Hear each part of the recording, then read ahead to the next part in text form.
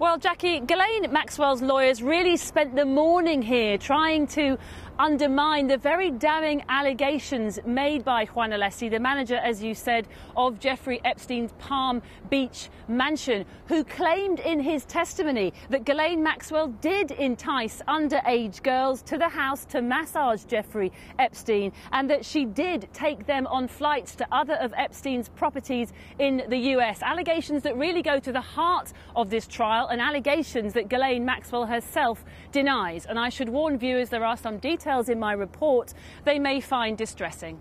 Becky, step away, please. He covered his face with a mask and dark sunglasses, but this is Juan Alessi, who managed Jeffrey Epstein's Florida mansion for 12 years and who says that Ghislaine Maxwell was at the centre of everything that happened there. Did Miss Maxwell instruct you to pick up the young girls? Do you regret working for Mr. Epstein? No comment. He had no comment last night, but Alessi had earlier told a Manhattan court that the sprawling home in Palm Beach was run by him, but Maxwell made clear that she was the boss. He testified, From the day she took over, she mentioned to me that she would be the lady of the house. That lady now stands accused of grooming and trafficking underage girls for sexual abuse by Mr. Epstein, including inside the Palm Beach mansion. In Mr. Alessi's testimony, he claimed he was instructed by Maxwell to pick up a young girl, identified only as Jane, from her school in Palm Beach and bring her to Epstein's house. Jane testified earlier in the week that she was abused by Epstein and Maxwell from the age of 14, starting in Palm Beach.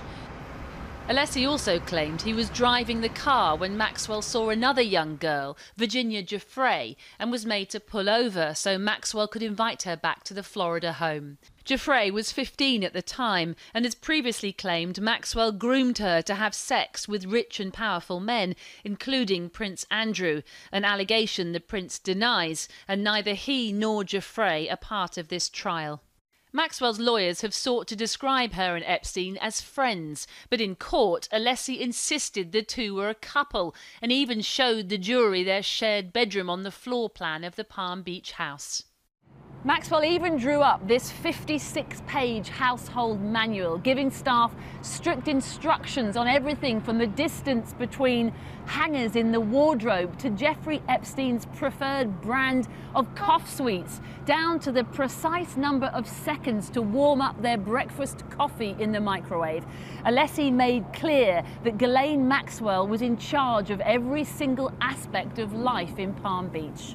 The manual instructed them to anticipate the needs of Mr. Epstein and Ms. Maxwell, including this one to place $100 in the glove compartment of each car, a fact the prosecutors chose to highlight in court. At one point, Alessi claimed he several times discovered sex toys when cleaning up after Epstein's massages. That echoed testimony from the witness Jane, who claimed Epstein used sex toys on her during the massages she says she was paid to give him. Alessi said he returned the toys to Maxwell's closet because that, he said, is where he was told they were kept. Ghislaine Maxwell denies all the charges against her.